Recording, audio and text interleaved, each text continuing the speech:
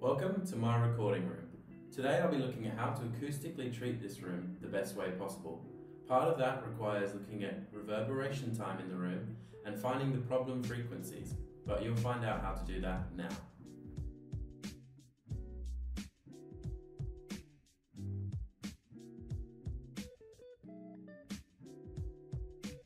Starting with reverberation time. You might be wondering what that is, and I'll tell you. Reverberation time is the time it takes for an initial sound's reflections to fade away. For example, in this untreated room, I'm going to clap, and you're going to hear the reflections of that clap. The reflections of that clap were based on many things, such as the fabric the ceiling's made out of, the walls are made out of, and the floor is made out of. Now there's such a thing called RT60, and all this means is reverberation time, and how long it takes to decrease by 60 decibels. That's the best way to find out the reverberation time in your room.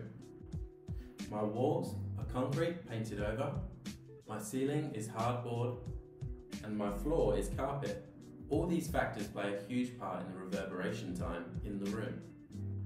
Furthermore from this, there are different absorption coefficients in the room other than just a wall, ceiling and floor, like this glass window.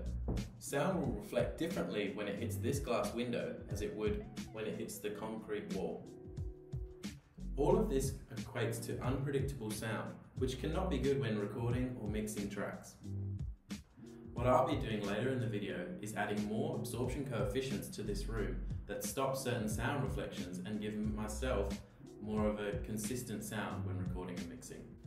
By putting the height, length and width into this calculator, I'm able to assume the reverberation time within my room. Using that calculator, I have found that my average reverberation time is 0.4 seconds.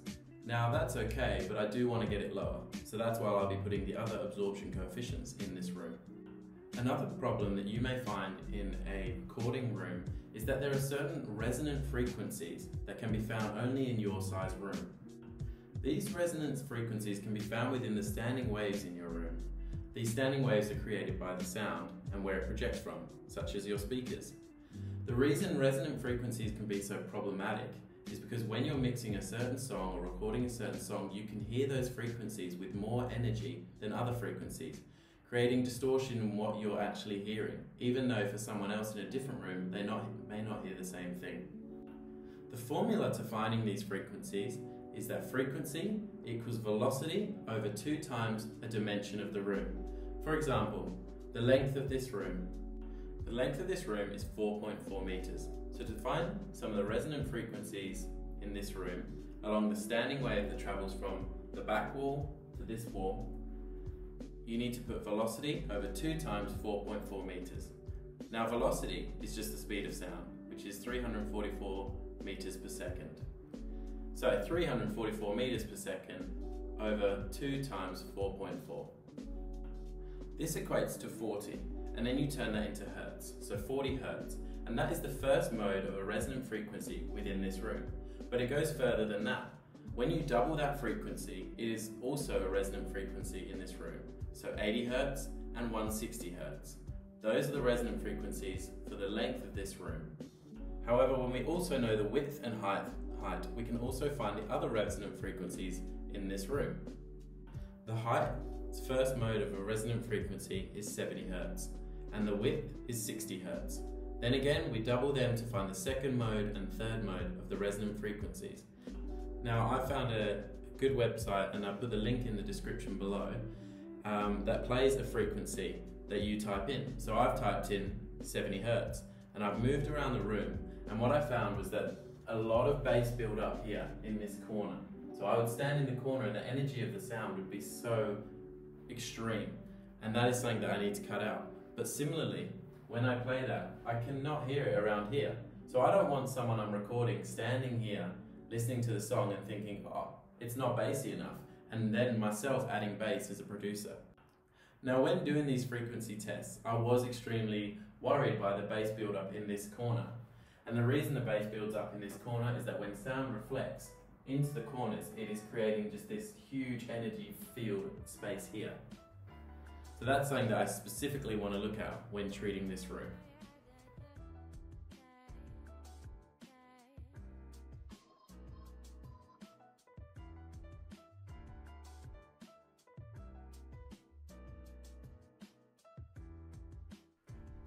So what I've managed to do in this room is add more absorption coefficients. For example, pillows are a great absorption coefficient. What pillows do is when the sound reflections come, they neutralize them more than a flat surface such as concrete or windows. I've also pulled the blinds down. Although this will only do a little bit, it still does enough to change the reverberation time in the room. Following this, I've added some bass traps in the corners of the room. Now, with an unlimited budget, I could add more bass traps to the roofs. Where you want your bass traps realistically are in the very corners of each room. I've also put a throw over my two guitars just to add more diffusion in the room. Finally, the problematic corner in the room. This is where I wanted to diffuse as much bass as possible so that when recording, the energy built up here wasn't coming back through behind my head and disturbing me when mixing and recording. What I've done here is add a throw over the door as a diffuser that's collecting more sound waves than it's reflecting and also similarly to the other wall some bass traps in the form of pillows. As you can see these pillows have a little air pocket behind them. That's fine. That's good because the sound has to travel through the pillows through a small air pocket to the walls and back. Now, although it's unorthodox, I have actually acoustically treated this room using household items such as pillows and throws. I'm now going to perform the same clap that I performed earlier in the video, and we're going to see if the reverberation time has changed. Thank you for watching this video on how I've acoustically treated my recording room in my house. If you'd like to know more, there's a few links below from where I got some of my information from that you can check out too. Thank you.